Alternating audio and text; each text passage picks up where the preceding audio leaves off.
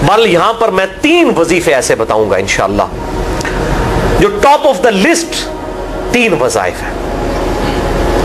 मुसीबत और परेशानी में तकलीफ़ दूर करने के लिए सुन्नत वजाइफ। आप सल्लल्लाहु अलैहि वसल्लम की तरफ़ से तालीम फरमाए हुए, उनमें से पहला वजीफा यही, जिसका कुरान में भी ज़िक्र आ गया कि जो इन अल्फाज के साथ हमें पुकारेगा, अल्लाह ताला फरमाता है कदाली का नुनजिल मुमिनीन। हम अहले ईमान को भी निजात देंगे इस तरीके से। सिर्फ़ यूनुस को नहीं, अहले ईमान को भी। चुनाचे इसी कॉन्टेक्स्ट में पहला वजीफा है ये, ला इलाहा इल्ला अंता सुबहानका इन्नी कुंतु मिनल वालिमीन का। लेकिन इससे पहले मैं एक इंपॉर्टेंट बात करूँ दुआ के हवाले से, कि दुआ की कबूलियत का एक प्रोटोकॉल भी है। वैसे तो आप मसला एटी टू देखेंगे, उसमें मैंने और बातें भी की हैं टॉपिक दूसरी तरफ़ चला जाएगा, लेकिन इंसाफ है कि मैं इस चीज़ को भी एड्रेस करूँ। जामिया तिरमजी में सही सनत के साथ ये हदीस मौजूद है। इंटरनेशनल नंबर के मुताबिक पाँच सौ तिरानवे नंबर हदीस है। और ये हदीस मिशकात में आपको पहली जिल्द में दुरुशरी वाले चैप्टर में भी मिल जाएगी। और मिशकात को मैंने डिक्लेयर किया है, Mishkat is the encyclopedia of Hadith.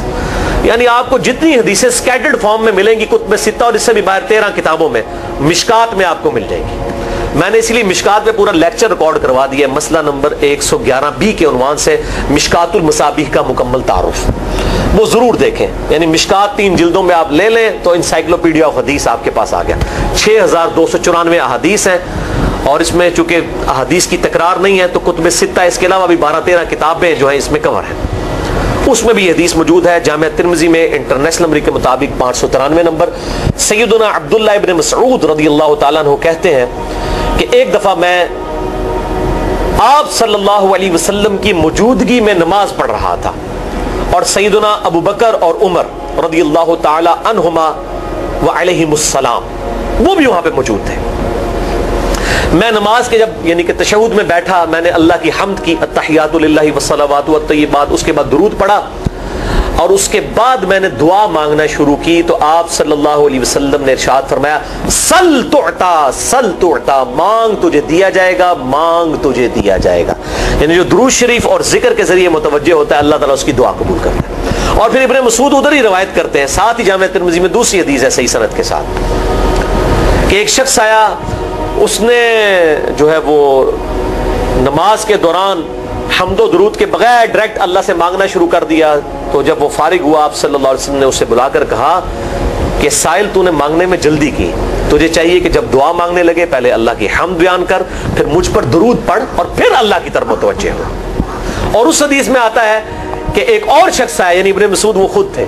और उसने अल्लाह की हमद और दरूद के ज़रिए दुआ मांगी तो आप सल्लल्लाहु अलैहि वसल्लम फरमाया, सल तोड़ता सल तोड़ता मांग तुझे दिया जाएगा, मांग तुझे दिया जाएगा। दुरुशी पे मैं अलग से भी लेक्चर दे चुका हूँ। मसला नंबर 56 के उनवान से दो घंटे की गुफ्तु है। दुरू शरीफ के सही फजाइल और सही अकाम मसाइल बड़ी डिटेल के साथ, हर एंगल से दुरू शरीफ के हवाले से आपको वो समझ लें कि इंसाइक्लोपीडिया है वो लेक्चर मसला नंबर 56 अहल सुन्नत पाक डॉट कॉम पे। तो दुआ के लिए हमद और दुरू शरीफ ज़रूरी इसलिए देखें नमाज़ की इंटेलेक्चुअल तरतीब है। आप पहले दुआ करते हैं अतहियात वसलावत बात अल्लाह की हमद करते हैं। फिर नबी सल्लल्लाहु अलैहि वसल्लम पर सलाम अर्ज़ करते हैं, सलाम नबी उसके बाद आप दुरूद पढ़ते हैं और एंड पे आप दुआ मांगते हैं। जहन्नम व मिन अज़ाबिल क़ब्र व मिन फितनतिल महया वल ममात व मिन शर्रि फितनतिल मसीह दज्जाल। या अल्लाहुम्मा रब्बना आतिना फिद दुनिया हसनतम व फिल हसनतम व क़िना अज़ाबन नार। या रब जअलनी मुकीम सलाती व ज़ुर्रियती रब्बना व तक़ब्बल दुआई रब्बना इग़फिरली व लिवालिदैया व लिल यौम यक़ूमुल हिसाब कोई भी दुआएँ मांगे ये भी मांगे जो मैं वज़ाइफ बता रहा हूँ क्योंकि बुखारी और मुस्लिम की मुतफ़न हदीस है मिशकात में आपको तशहद वाले चैप्टर में हदीस मिल जाएगी कि नमाज़ में तशहद में दरूद के बाद जो चाहो अपने रब से मांगो यानी अरबी में मांगना होगा दुआएँ मांगे दुआएँ मासूरा किताब सुन्नत में जितनी आई वो मांगे इसके अलावा भी मांग सकते हैं अगर अल्फाज दुरुस्त हो लेकिन अरबी ज़ुबान में तो ये पहला वजीफा। जामिया तिरमजी में इंटरनेशनल नंबर के मुताबिक तीन हज़ार पाँच सौ पाँच, मिशकात में दो हज़ार दो सौ बानवे नंबर ये हदीस है। और कुरान हकीम में तो हम पढ़ चुके हैं सूरत लंबिया आयत नंबर 87 और 88 में। आप सल्लल्लाहु अलैहि वसल्लम ने इरशाद फरमाया कि यूनुस अलैहिस्सलाम ने मछली के पेट में अपने रब को इन अल्फाज के साथ पुकारा था, ला इलाहा इल्ला अंता सुब्हानका इन्नी कुंतु मिनल ज़ालिमीन। और फिर आप सल्लल्लाहु अलैहि वसल्लम ने फरमाया कि जो कोई शख्स अपने किसी भी मामले में किसी भी परेशानी में इस दुआ के ज़रिए अल्लाह की तरफ़ मतवजे हो, अल्लाह ताला उसकी दुआ को कबूल फरमा लेता है। और कुरान में भी आ गया ना कजाली का नुन जिल और कितना बड़ा फतवा आया मेरे भाइयों सूर्य साफात 143 144 फलौला मिनल मुसब्बिहीन। अगर यूनुस हमें इन अल्फाज में हमारी तस्बीह ना करता लबिसफी तो मछली के पेट में, क्यामत तक मछली के पेट में रहता, अगर इस तरह ना हमें पुकारता। उसकी कबर मछली का पेट बन जाती। यानी ये इतना अताब और वो दूर हो गया इस दुआ से। बहुत बड़े असमाय आज़म में से। तो ये बेहतरीन दुआ, बेहतरीन वजीफा असमाय आज़म में से बेहतरीन चीज़ और सबसे बढ़कर जो मैंने बात की कि बेहतरीन इस्तेगफार। अल्लाह से तोबा मांगने का बेहतरीन ज़रिया। और किस तरीके से? अल्लाह, तू तो पाक है ना, तुझसे तो गलती नहीं होगी, मैं बंदा हूँ गलती करूँगा। तो अल्लाह ने तो माफ़ करना है ना? क्योंकि जब बंदे ने अपनी आर्जी का इजहार कर लिया है, और अल्लाह ताला को बताया, अल्लाह, ये तेरी क्वालिटी है, तू गलती नहीं करता। तो मैं तो इंसान हूँ गलती करूँ तो ये है पहला वजीफा। दूसरा वजीफा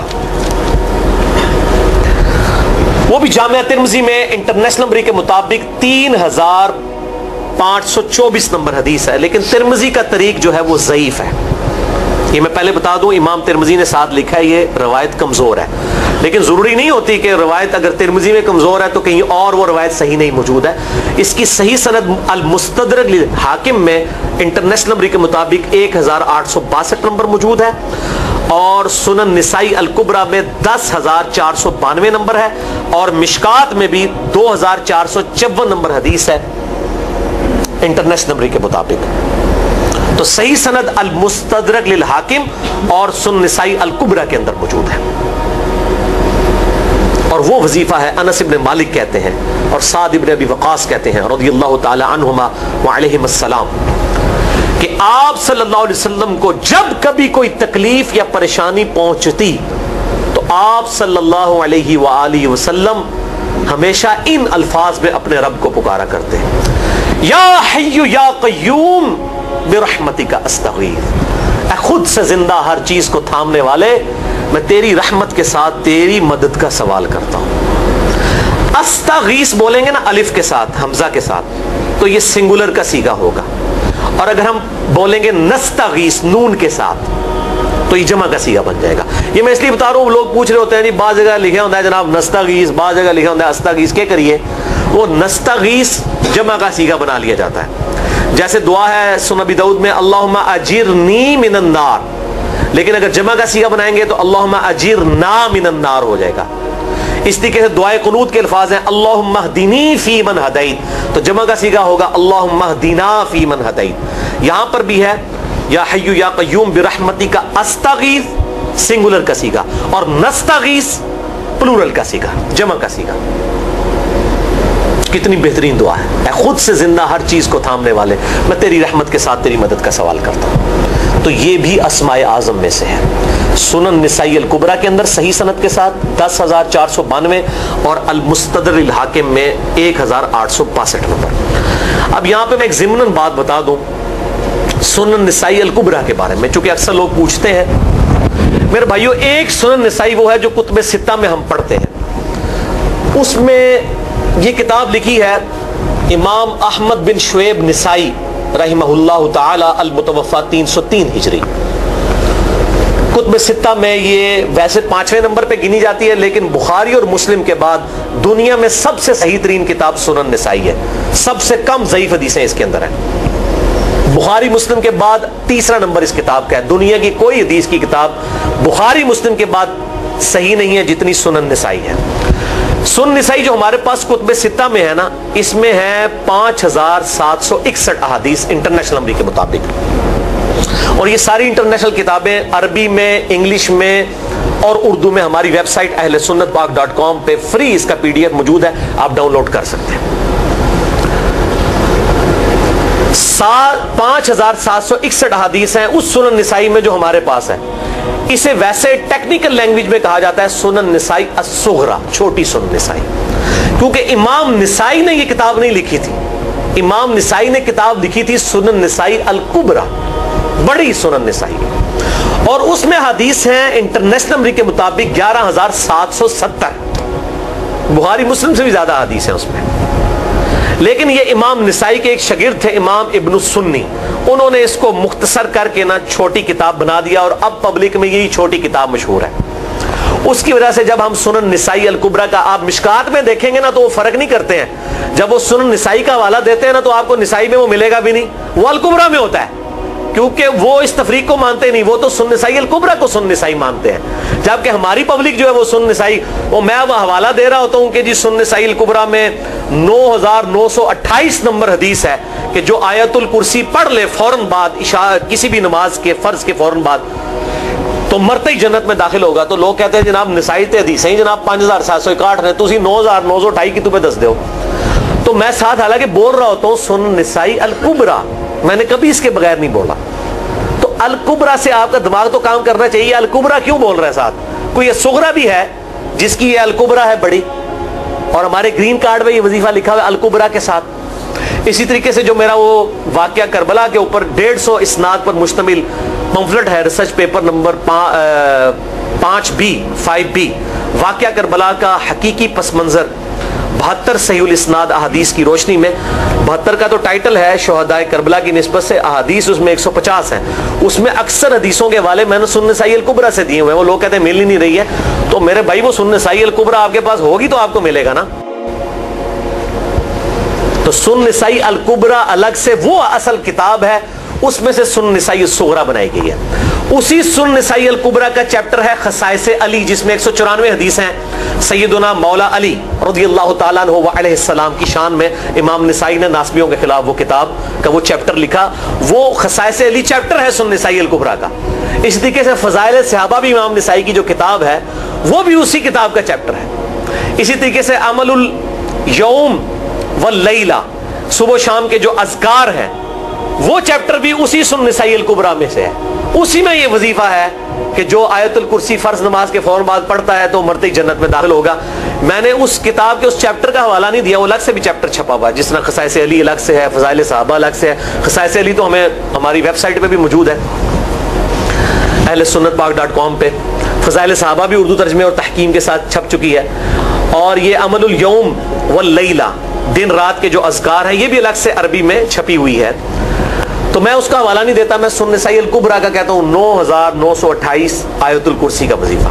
तो ये सुन नसाई अलकुबरा का मैंने हवाला दिया है, या हयू या कयूम बेरहमती का अस्तगीर, दस हज़ार चार सौ बानवे, सही तरीका है। बाज़ात किसी एक किताब में ज़यीफ तिरमजी का इसका तरीक जो है वो ज़यीफ है सुन नसाई अलकुबरा और अलमुस्तदरहाकिम का तरीक जो है वो बिल्कुल सही है। जिस तरीके से सुन अबी दाऊद और सुन इब्न माजा में किताब निकाह चैप्टर में हदीस है, अगर मैं सजदा जायज़ समझता तो बीवियों को कहता कि अपने खामदों को सजदा करें। उस हक के सबब जो अल्लाह ने उनको दिया तो अबू दाऊद और इबन माजा की रवायत ज़यीफ है। इसमें शरीक अलकादी मुदलिस है और अन से रवायत कर रहे हैं और मुदलिस की आन वाली रवायत समा की तस्री के बगैर ज़यीफ होती है। लेकिन हम इस हदीस को सही कहते हैं क्योंकि इस समा की तस्री सुनन अल बहीकी के अंदर मौजूद है अलकुबरा में। तो हम फिर उसकी बुनियाद पे कहते हैं, चूँकि वहाँ पर सही लिहाजा इसको हम कहते हैं शवाहिद की बुनियाद पे सही। ये मैं आपको टेक्निकल चीज़ें बता रहा हूँ। ये वो चीज़ें जो आपके कई वो जो बड़े बड़े उलमा पढ़ के फारग होते हैं, उनको भी ये बातें नहीं पता होती हैं। वो कहते हैं, जनाब, आप कितू पढ़े हो? और मैं कहना पाई मेरे आइंस्टाइन तो न्यूटन किसी मदरसे तो पढ़ने की ज़रूरत नहीं होती। न्यूटन अठवीं क्लास ही हुआ है। आज न्यूटन होते पी एच डी होती फिजिक्स थी मुझे गांधी साहब का जुमला याद आया। उनसे किसी ने पूछा कि ये जो रवायती उलमा है और मौलाना मदूदी, आप इनको कैसे देखते हैं? उनका रवायती उलमा जो है, ये तो मदरसों के स्टूडेंट्स और फारूक तहसील डिग्री होल्डर हैं। और मदूदी साहब जो हैं, उनकी मिसाल तो आइंस्टाइन और न्यूटन वाली है। उनके ऊपर पीएचडी होती हैं गॉड गिफ्टेड सलाहितें होती हैं। इन मदरसों की आउटपुट मदूदी साहब और डॉक्टर सलाल, डॉक्टर जाकिर नाइक और अहमद दीदा साहब तो नहीं हो सकते। ये गॉड गिफ्टेड सलाहितें होती हैं। तो मैं इसलिए साथ साथ क्लियर कर रहा हूँ ताकि ये जो एम्बिगुटीज आती हैं, इस हवाले से वो क्लियर हो जाए। बहरहाल ये दूसरा वजीफा हो गया। अब तीसरा वजीफा जो है, कमाल वजीफा। सही बुखारी में मौजूद है। इंटरनेशनल नंबर के मुताबिक चार हज़ार पाँच सौ तिरसठ नंबर। इबन अब्बास रदी अल्लाह तुमा कहते हैं वालेसलाम वो कहते हैं कि सैदना इब्राहिम अलैहिस्सलाम को जब आग में फेंक रहे थे ना तो इब्राहिम अलैहिस्सलाम ने उस वक्त कहा था निअमल वकील।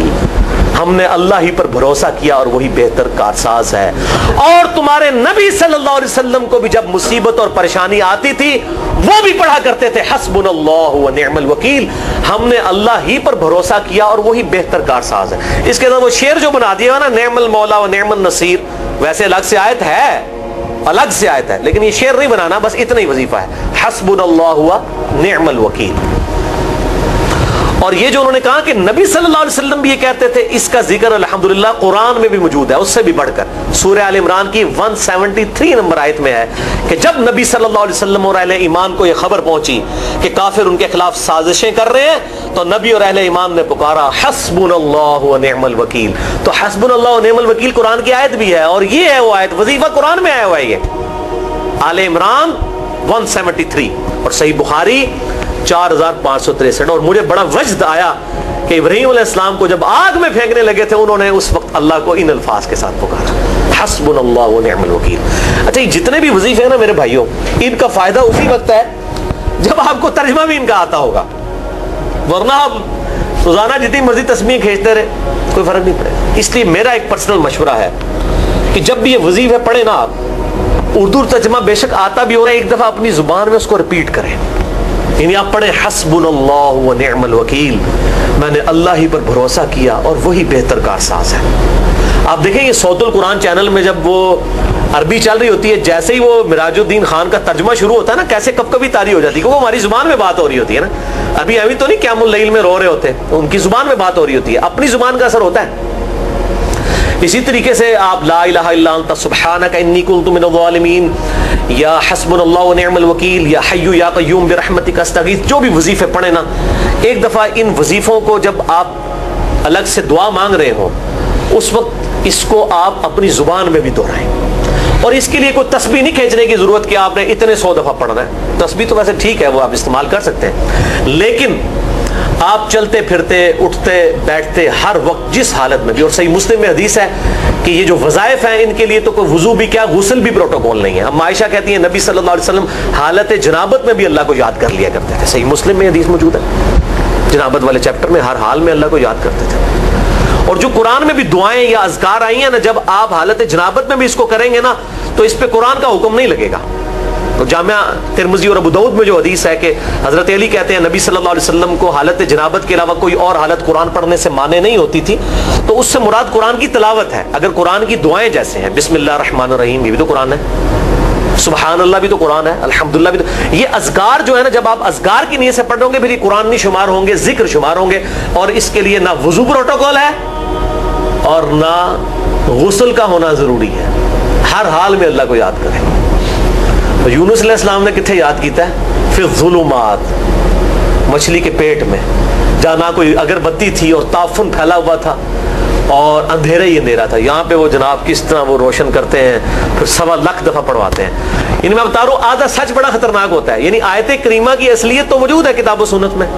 लेकिन आधा जो सच झूठ साथ मिला लिया ना, उसके सारा बेड़ा गर्क कर दिया और बजाय ये कि लोगों को ये वजीफा बताया जाए कि उठते, बैठते, चलते, फिरते अल्लाह को इन अल्फाज में याद करें। उसको उन्होंने कोई और ही रंग दे दिया हुआ है और उसको सवा लाख दफ़ा ख़त्म और पता नहीं क्या कुछ बना दिया हुआ है। तो ये तीन वज़ाइफ थे बड़े अहम इस हवाले से। और मैंने इसको ज़रूरी समझा कि मैं ये ज़रूर बता दूँ ताकि लोग इस पे एजुकेट हों, इन वज़ाइफ को करें। और मसला नंबर 82 मेरा अलग से मेरे भाइयों रिकॉर्ड है। मसला नंबर 82 असमाय आज़म और दुआ की कबूलियत से मुतलिक जितनी भी चीज़ें हैं, मैंने उसमें बड़ी डिटेल के साथ, अल्हम्दुलिल्लाह कई और वज़ायफ भी बताए। लेकिन अब वो इतने वज़ायफ कोई जमा करने की ज़रूरत नहीं है। मोटे मोटे तीन वजीफ़े जो बता दिए इन्हीं को अगर कोई ले ले अपनी दुआओं में इन्हीं वज़ायफ को करे तो अल्लाह तबारक वाली हर मामले में जो है वो इन शाह तला किफ़ायत फरमाने वाला है।